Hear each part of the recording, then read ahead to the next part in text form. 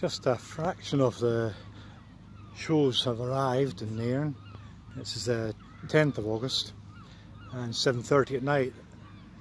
In that they could have arrived yesterday, I would have expected a few more to be here, but um, there's probably just a, oh, about eight or nine of the fairground activities set up round and about and there's a lot of space for a lot more so um, it usually builds up towards next weekend.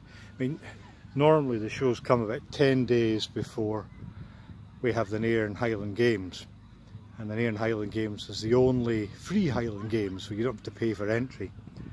Uh, but it unfortunately uh, will not run again this year. So that's two years the games have had to be postponed. Uh, but the shows are here. And uh, something for the kids to see before they get back into school